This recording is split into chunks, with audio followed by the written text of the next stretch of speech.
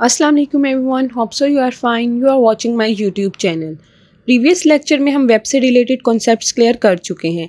आज का हमारा टॉपिक है introduction to HTML next lecture में हम इसका प्रैक्टिकल वर्क स्टार्ट करेंगे, लेकिन उससे पहले HTML से रिलेटेड कुछ कॉन्सेप्ट का क्लियर होना बहुत ज़रूरी है।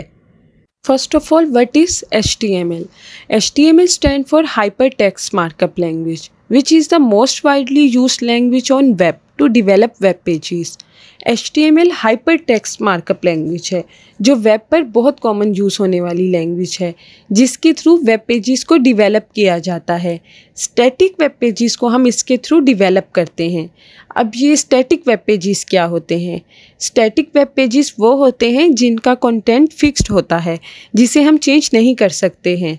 वेबसाइट का जो फ्रंट एंड होता है, वो सिर्फ़ स्टैटिक साइट ही बनाता है क्योंकि HTML का मेन पर्पस यही है कि वो नेटवर्क पर इंफॉर्मेशन को शेयर करता है Now HTML is very simple and logical. It is not a programming language, but a markup language that uses tag like this. ये सिंपल और लॉजिकल लैंग्वेज है ये प्रोग्रामिंग लैंग्वेज नहीं है, बल्कि मार्कअप लैंग्वेज है, जिसमें हम डिफरेंट टैग्स को यूज़ करते हैं basically H T M L hyper text और मार्कअप लैंग्वेज का कॉम्बिनेशन है। हाइपर टेक्स में वेब पेजेस के दरमियान लिंक को डिफाइन किया जाता है, जबकि मार्कअप लैंग्वेज में टैक्स के अंदर टेक्स्ट डॉक्यूमेंटेशन को डिफाइन किया जाता है। Then the markup tell the web browser how to display the web pages words and image for the user actually markup web browser को बताता है कि किस तरह यूज़र के लिए वेब पेजेस को डिस्प्ले करना है। वेब ब्राउज़र का मेन पर्पस ये होता है कि वो एचटीएमएल के डॉक्यूमेंट को रीड करता है और फिर उन डॉक्यूमेंट मीन्स वेब पेजेस को डिस्प्ले करता है। गूगल, क्रूम, इंटरनेट एक्सप्लोरर और फायरफॉक्स, ये सब वेब ब्राउज़र्स हैं। H T M L tags. Web design की हिस्ट्री में H T M L tags हमेशा से इम्पोर्टेंट रहे हैं, क्योंकि ये डॉक्यूमेंट मीन्स वेब पेजेस के स्ट्रक्चर को क्रिएट करने के लिए यूज़ होते हैं ये एक्चुअली वेब पेजेस के अंदर हिडन कीवर्ड्स होते हैं, जो डिफ़ाइन करते हैं कि वेब ब्राउज़र किस तरह से कंटेंट को डिस्प्ले करेगा A tag is always enclosed in angle bracket. HTML tags normally come in pairs. Tags के लिए एंगल ब्रैकेट यूज़ करते हैं। ये नॉर्मली पेयर की फॉर्म में होते हैं। फॉर एग्ज़ाम्पल इसे हम स्टार्टिंग टैग कहते हैं और इसे हम एंडिंग टैग कहते हैं। इसमें डिफरेंस ये है कि एंडिंग टैग में हम टैग नेम से पहले फॉरवर्ड स्लैश लगाते हैं। बेसिकली जो पी होता है, वो पैराग्राफ को शो करने के लिए टैग यूज़ किया जाता है। हम इसमें डिफरेंट टैग यूज़ करेंगे लाइक एच वन का टैग यूज़ करेंगे, जो हेडिंग के लिए यूज़ करते हैं। बी टैग को यूज़ करेंगे, जो कि फुल वर्ड को बोल्ड करने के लिए यूज़ करते हैं। और भी बहुत से टैग यूज़ करेंगे। अब हम इस इमेज को देखते हैं। इसमें ये जो टैग नेम लिखा है, जिसे हम स्टार्टिंग टैग कह रहे हैं, इसे हम ओपनिंग टैग भी कहते हैं। और इसी तरह सेम ये जो एंडिंग टैग है, इसे हम क्लोजिंग टैग भी कहते हैं।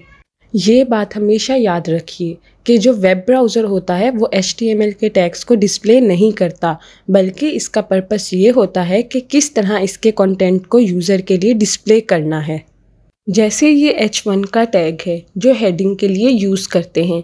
पहले इस टैग को ओपन किया देन जो भी कंटेंट था वो लिखा, जिसे हमने वेब पेजेस में शो करवाना है। देन इस टैग को फॉरवर्ड स्लैश लगाकर क्लोज कर दिया। इसके अलावा हम रेफरेंस के लिए भी टैग्स को यूज़ करते हैं टेबल्स के लिए भी टाइटल्स के लिए भी, और भी बहुत सी चीज़ों के लिए हम टैग्स को यूज़ करते हैं। पर कुछ टैग्स ऐसे भी होते हैं जिनके क्लोजिंग टैग्स नहीं होते। हम आगे उन्हें भी पढ़ेंगे। Now H T M L elements. दो तरह के H T M L elements होते हैं। First, container elements and second empty elements. First of all, container elements. Container elements are those which are required to be use in pair it consist of opening tag and also closing tag container elements वो होते हैं जो हम pairs में use करते हैं। Means उनका opening tag भी होता है और क्लोजिंग टैग भी होता है। जैसे कि एच वन टैग है, इसका ओपनिंग टैग भी है और क्लोजिंग टैग भी, क्योंकि इसमें फॉरवर्ड स्लैश यूज़ हो रहा है। इसलिए ये क्लोजिंग टैग है। ये टैग हेडिंग के लिए यूज़ कर रहे हैं। इसके अलावा पैराग्राफ का टैग है रेफरेंस का टैग है बॉडी टैग है, ये सब कंटेनर एलिमेंट्स हैं। इस पूरे को हम एलिमेंट कहते हैं, जिसमें स्टार्टिंग टैग कंटेंट और क्लोजिंग टैग होता है। Then empty elements. Empty elements are those that require just the opening tag and do not require the closing tag. HTML elements with no content are called empty elements.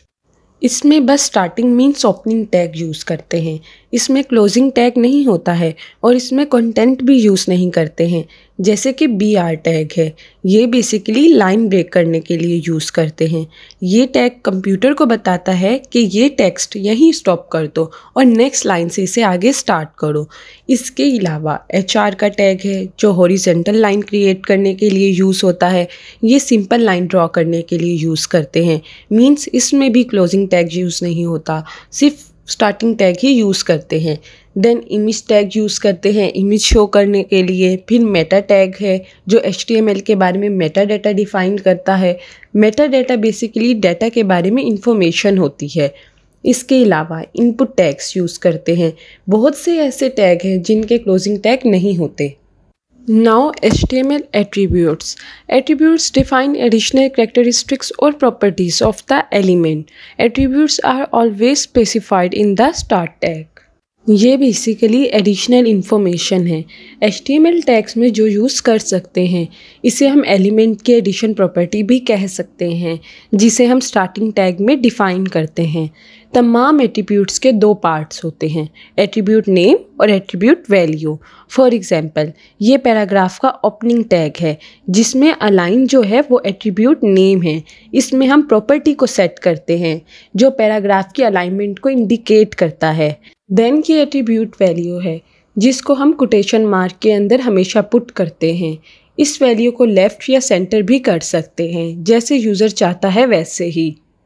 अब इस attribute से ये होगा कि हम अपनी मर्ज़ी से टेक्स्ट की अलाइनमेंट सेट कर सकते हैं।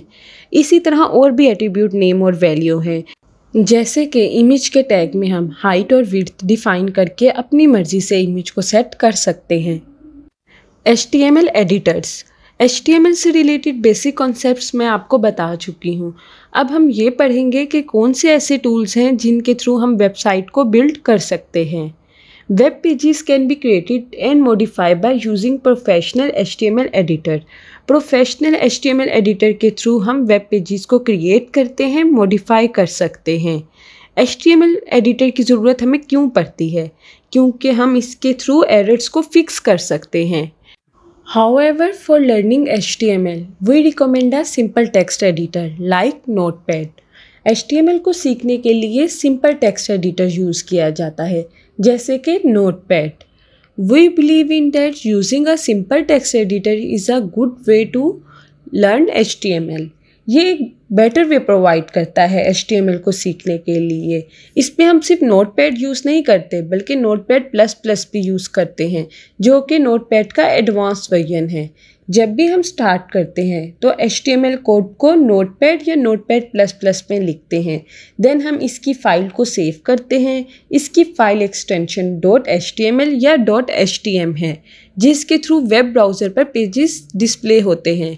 वो एचटीएमएल डॉक्यूमेंट को रीड करता है देन डिस्प्ले करता है।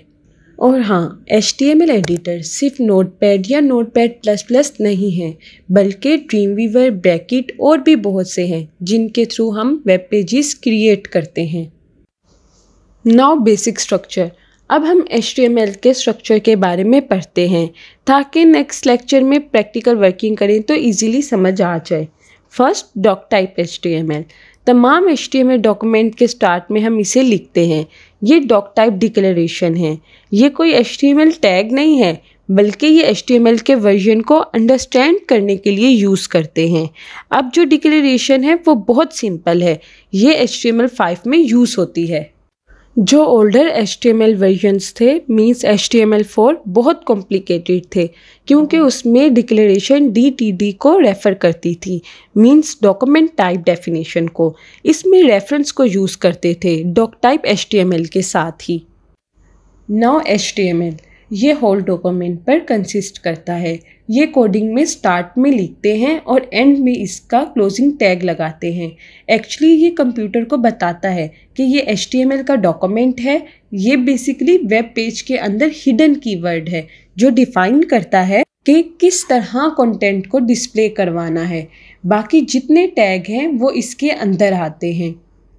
देन हेड टैग ये पेज के हेडर सेक्शन को डिफाइन करता है। इसमें इम्पोर्टेंट टाइटल का टैग है। किसी भी डॉक्यूमेंट मीन्स वेब पेजेस पे टाइटल नज़र आता है, वो इसी टैग के थ्रू आता है।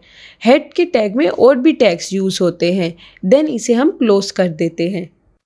फिर बॉडी का टैग है। जो बहुत ही इम्पोर्टेंट है।